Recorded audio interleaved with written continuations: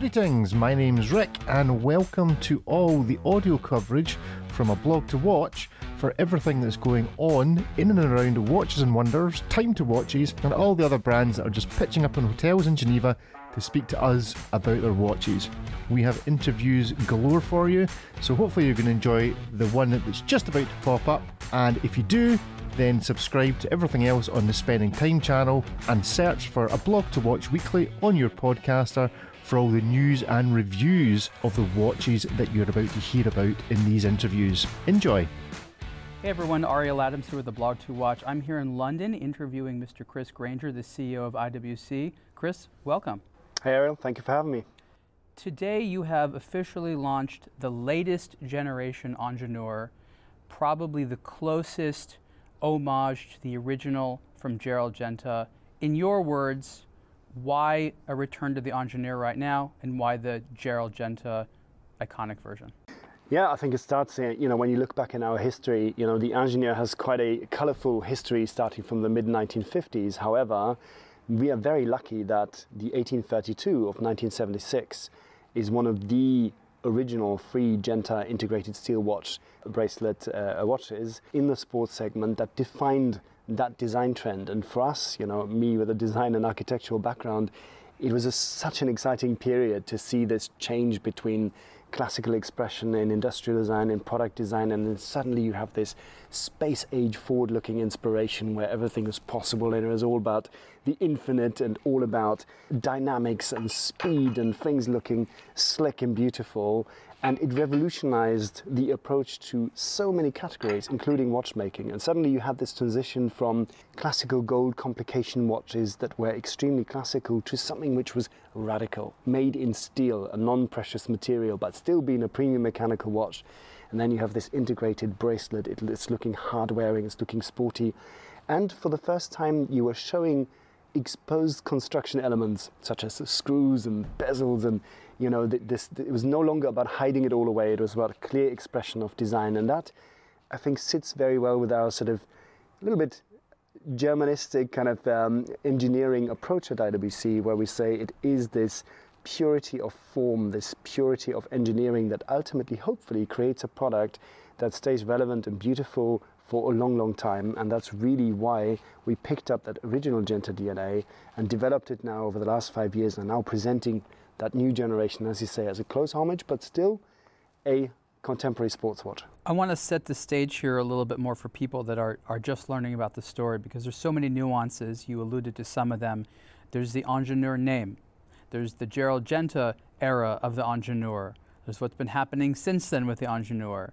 And then there's, of course, the market conditions of today where these integrated uh, steel bracelets, uh, not always steel, of course, but these integrated, uh, you know, sportier yes. watches are very popular and chic. And I think what's important to say that I want people to know is that IWC did not just take this original design and, and emulate it. Other companies have done that. They say, hey, this is the exact same as the one from 1960 or 70 or whatever. That's not what you did. You had to do something much, much harder. Let's be frank, some of the originals would not necessarily do well today in their, in their particular shape or their particular size. Yeah. You had to do something where you took the, the essence of it yeah. and actually make a brand new watch which has never existed in any form that sort of looks like it came from that era but made for today. But you had you had to make a brand new watch. I think that's so important to say. You're not yeah. just sort of making a replica of an original. No, you're absolutely right. And I think this is uh, uh, the hardest of all exercises because as designers, we like to do new things. So, you know, you, you, to do something completely new is, is straightforward and there's hardly ever any reference, uh, a framework where it's going to be judged against. Or you do a faithful replica.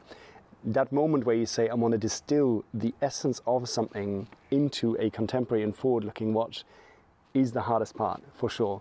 But I think it's trying to understand what was at the core of the thinking and translating this into proportions and into detailing and finishing that is relevant to the taste of today, and then hopefully create something that has a longevity in it that can live for years and years to come in different versions and still always feel contemporary. And that you know, timeless design at the end of the day is not something you can force in a process, not something you can force on a Monday morning you can hope that it happens and you can create the conditions for it. And I think this is our job as, as guardians of the brand and as designers to give the best spaces as we possibly can. The Ingenieur name started in the 1950s as IWC's engineer watch. It was anti-magnetic. Yeah. This is sort of the same era where the Rolex Milgauss came out, and there were some other anti-magnetic watches because at the time, you know, these sort of like uh, extremely high sophistication engineering jobs often had time around magnetic fields. And the whole idea is you need to have a reliable watch. And this is this is a great story because there was a functional reason. It wasn't like a, a, a lifestyle watch. It wasn't you know like just a, a fun watch to wear at parties. Mm. But this is supposed to be a real watch that you could wear in these types of conditions. Today, obviously, things are a little bit different. But how do you connect this this sort of heritage of a functional object? You're mm. obviously into technique. Yep. How do you marry this into a watch which is, you know, a, a, a, luxury item. Yeah, I think this is the, the beauty of the category of mechanical luxury watches is that you often, um, we try to achieve this duality. And it is clear that the product today is an emotional product, it's an expressive product, it is something that is part of identifying what you stand for, it's self expression, it's a luxury, it's for enjoyment.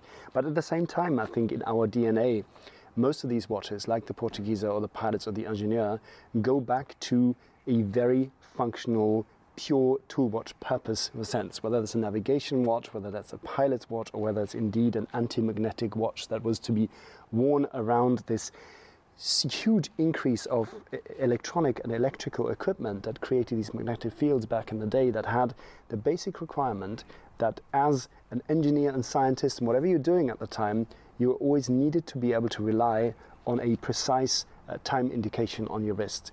And even though today, whether you have dive computers and diving watches, whether you have sophisticated electronic navigational equipment in boats and, and of course the avionics in aircraft, there is still this anchor point where you say, if it all goes wrong and if we go off grid and if everything else fails, a pilot's watch from IWC is the ultimate backup navigation tool which will do at jobs. And we, we often have these discussions around, you know, the, the latest cutting edge aircraft with all the most modern equipment.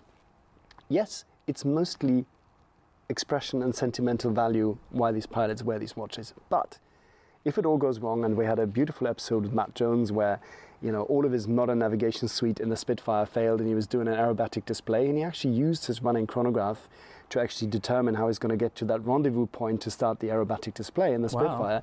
So, if push comes to shove, it will still do its job, and I think that is when we talk about form and technique that you know, it has not been removed to a point where it only is a symbol of something.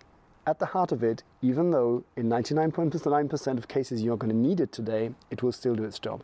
Now, that's a message which, of course, resonates well once you know it. Hmm.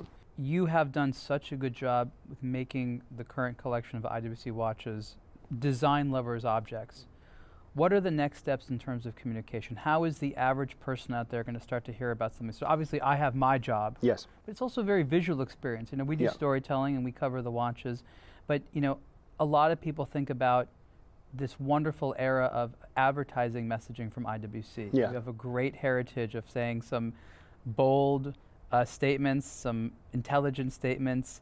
Um, and I think a lot of people, when they see things like the Ingenieur, they remember yeah. some of these eras. Is is there something to be said about bringing back some of the the personality Absolutely. these types of marketing campaigns? Absolutely. No, I, I mean, uh, as you said correctly, you know, I think in, in, the seeding phase and re-establishing that, a lot of it will be done through the personal interaction, our network. A lot of it will be happening through our boutiques. But at the same time, we have a, a teaser campaign, which uh, at the time we're, we're airing this, has already happened, where, where we are replying um, to a lot of the comments on social media from years past saying bring back the Ingenieur and we're actually replying with a date code for the 27th of March to say look it, it, something is happening. Oh that's fun. And then we're actually using a, a launch campaign window where we have a retro futuristic want to be retro advertising using some of this sort of a quite unique and distinctive messaging that takes you back to the time when advertising had quite a different style of writing and explaining benefits. And today, whether you look at vintage car ads or things that you'd find in a National Geographic magazine from 1970 something, it's a very different way of talking about the functional and emotional benefits of products. And I think that there, there is a, a, a humoristic side where you can bring some of that back to show how a no nonsense watch that has functional value back in the day would have been positioned, which was quite different from the motivations why people buy these watches today. But it's nice to connect it back to what, what They- they actually uh, very, uh, drove they the were very attention grabbing. yeah, yeah, a lot of luxury advertising today is sort of like visible, but Mm. also looks like it doesn't care whether or not you look at it. Mm. You know what I mean? Yeah. Like some v- very well dressed person who's out in public, but also doesn't seem to care if they want attention. mm. And I think the luxury industry has fallen to that. Whereas that area you're talking about, it was it was okay to say, "Hey, look at me! I got yeah. a fun message for you." Yeah, yeah, yeah. And consumers like that because, especially in the social context, it added dimension to them wearing that. Mm. Because people remember, like, oh, I remember all those IWC ads, and when they see the watch and they see the name. And yeah. I, I just feel that that's so good now because you have so many people in the social media generation that know about luxury watches. Young people like never before. I think that you and I agree, we want them to associate a little bit more than that's expensive with the watch Yeah. because that's not the emotion that we want to engender, right? Like, it's true, but it's not the only emotion we want to engender.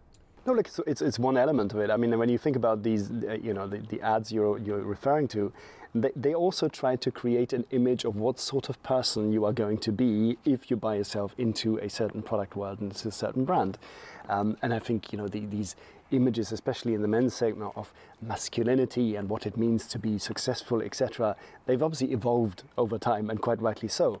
Um, but at the same time, I think you, you're right, you know, to, to create um, a, a reference frame of identification that is more than, as you say, just okay, it's status and it's an expensive watch and everybody will recognize it, is very important. You see that a lot. I think today you see that also across fashion in a lot of the collaborations as well. That the collaborations, yes, it's the the aggregation of brand names, but it's also to bring a background story to a type of design influence that people can relate to and have a deeper experience than just going back to the obvious product and say, ah, this is what I'm wearing because everybody knows what it is.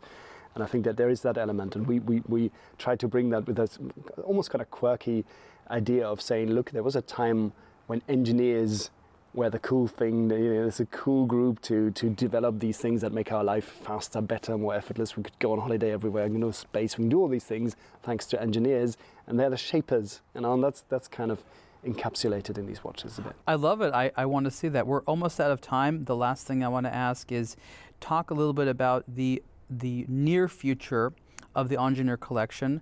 Uh, you are launching with three steel models Yeah. and maybe some other special ones this year. Yeah. Um, I think people are going to want to know how hard is it going to get this? What percentage of the of the production is this going to be? I guess the simple the simple question is now that the Engineer is relaunched, how big of a focus is it going to be in the larger product collection? Look, I think we, we have the legacy of three of our families, especially the, the Portuguese pilots and Portofino, which are, in terms of design DNA, are strap watches or multi-accessory watches that today, of course, exist on bracelet, exist on straps, so various have quick change system, all the rest of it.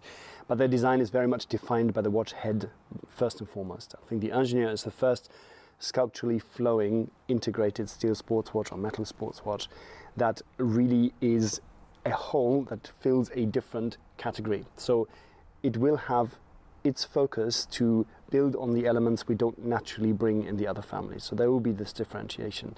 And of course, now we want to center this design in what it essentially stands for, which is an automatic date watch in steel and titanium. I think we can say that as an integrated metal sports watch, and then to build the collection from there, be it in function, be it in diameter, be it in material, uh, but really to start on that anchor point.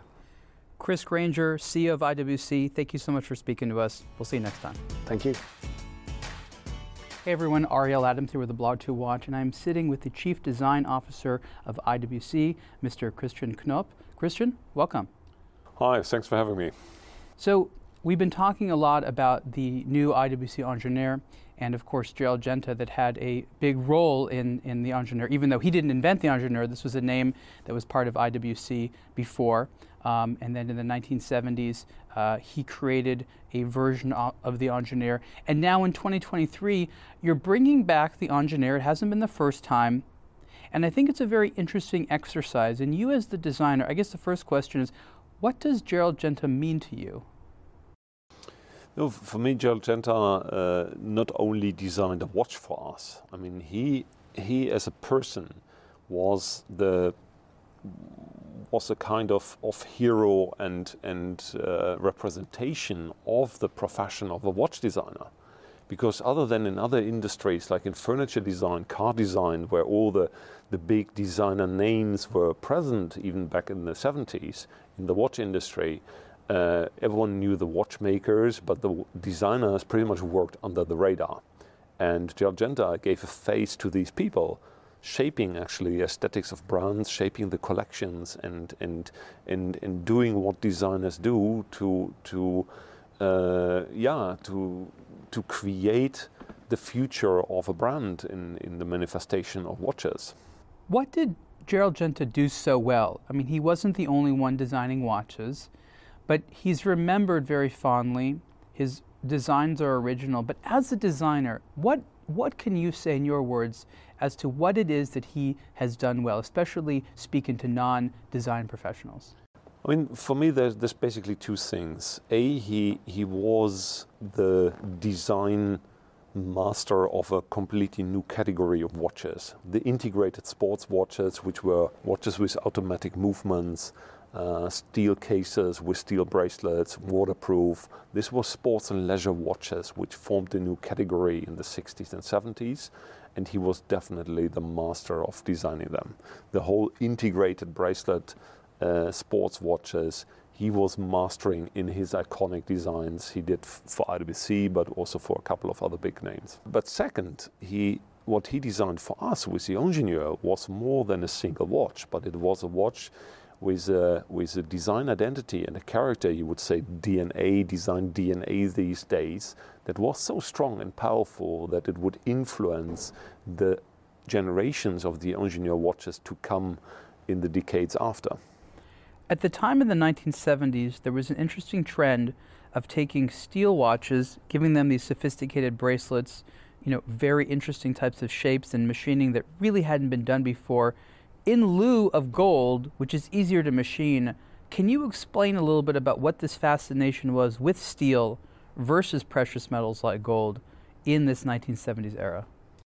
Yeah, I think that this this was not a not a not a free choice back then because this was very much influenced by the market and the rising gold prices. So companies like IWC they were really struggling, and the the collections of many watch brands at the time consisted of predominantly gold watches, and then the prices in the early 70s suddenly tripled because of the rising gold prices. So they um, they needed creativity, they needed new designs and new materials to, to build watches. And uh, this is not just doing the same design Uh, what you did in gold before now in steel, but you really had to invent a new category. You had to invent the luxury steel watch. Because you couldn't charge steel prices and you couldn't charge then gold prices. You had to have a watch at the old gold prices, but not in gold. That's what it kind of seems like. Basically, yes.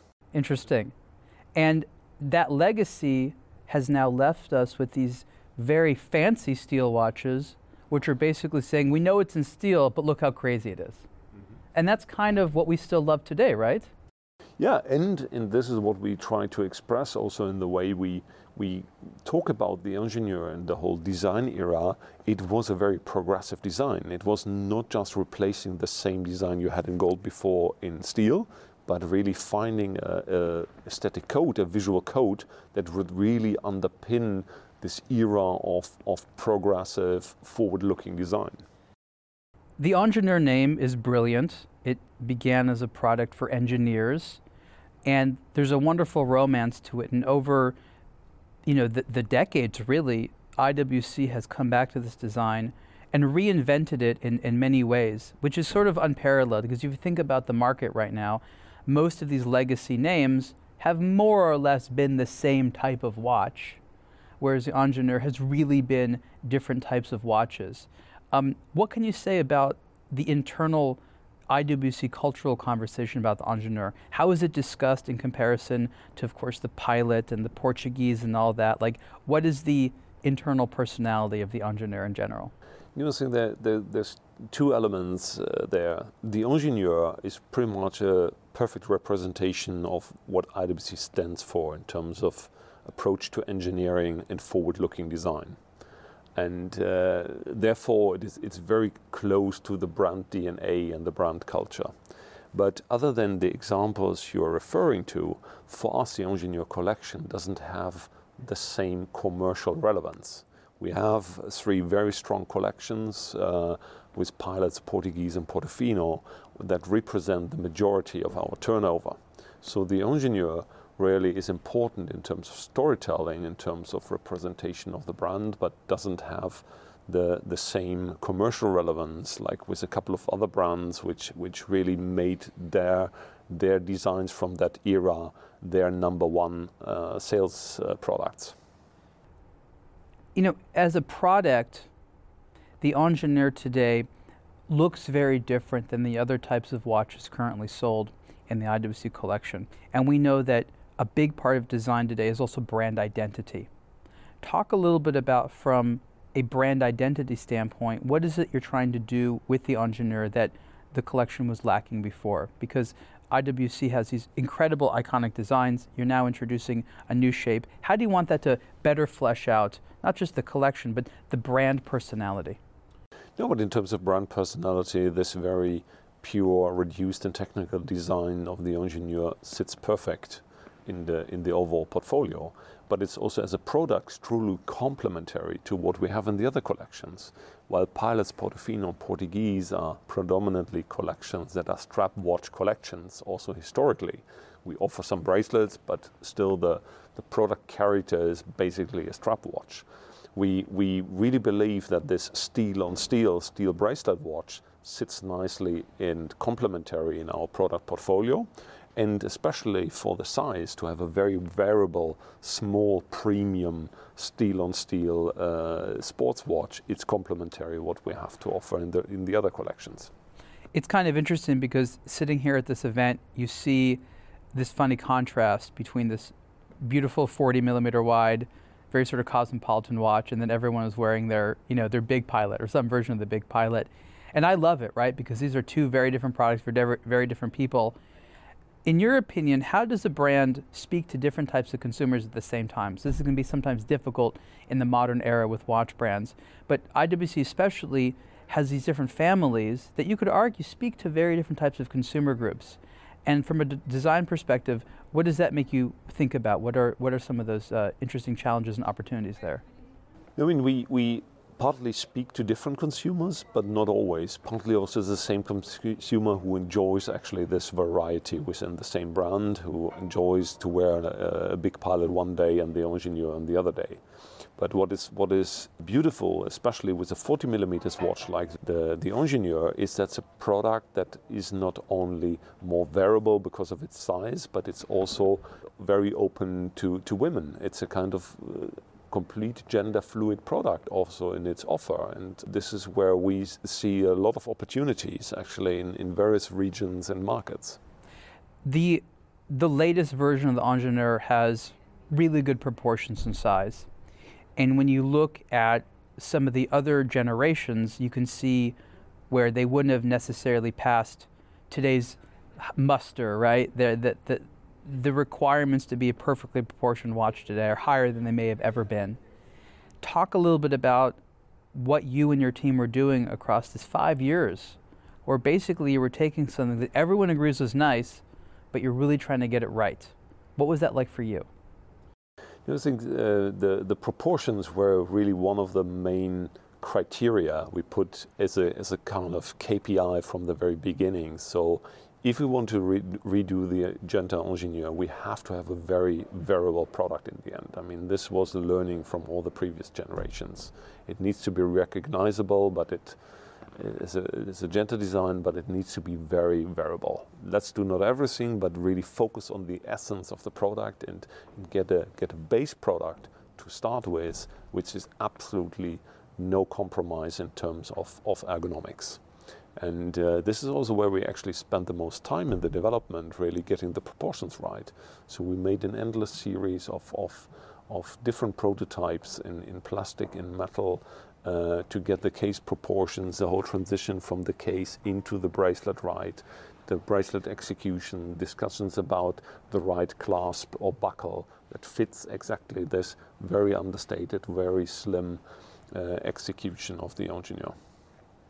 Where do you go from here, right? Because you are now taking a design and you want to do executions on it. We look at the pilot and we see all the interesting things you've done, different colors, sizes, materials.